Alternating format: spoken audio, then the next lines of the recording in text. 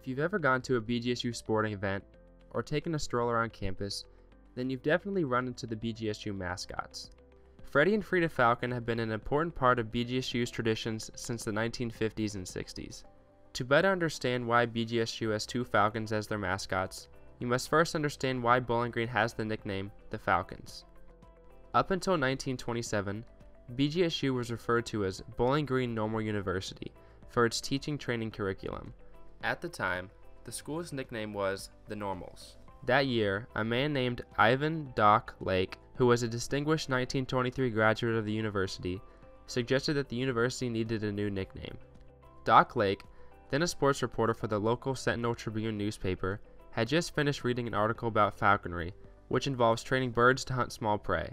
He suggested the university rename its nickname and mascot the Falcons. He felt the bird was a fierce fighter with speed and courage. Doc Lake's suggestion of the Falcons was met with instant approval by members of the community and the university. Freddie Falcon was born in 1949 in the minds of the members of the Alpha Phi Omega fraternity. The idea was to try to create school spirit at BGSU athletic events. Bill Duff, a member of Alpha Phi Omega, created the head of Freddie out of paper mache and chicken wire. A mother of one of Bill's fraternity brothers made the body from a sweatsuit. Then on January 16, 1950, at the BGSU vs. Ohio University basketball game, Freddie Falcon made his debut appearance introducing himself to the BGSU community. Under the head created from paper mache, a feathered cape, and a brown sweatsuit outfit was Bob Taylor, BGSU's first Freddie Falcon. At the end of the year, the costume was stored in the attic of a log cabin on the current site of the Bowen Thompson Student Union, where the head was then destroyed by mice. The following year, Freddie's head had a new look. Instead of paper mache, he wore something resembling a rubber chicken mask.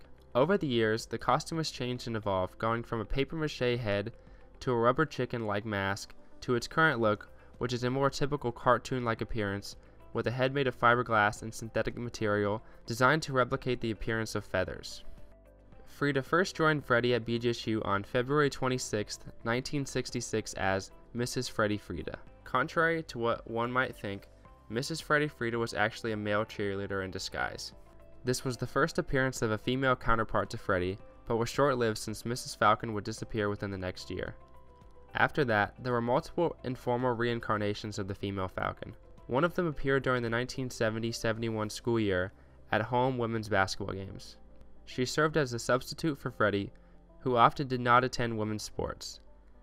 By 1980, Frieda emerged as the Falcon sidekick we all know today. The first official female Frieda was played by Sue Sheard during the 1980 81 school year.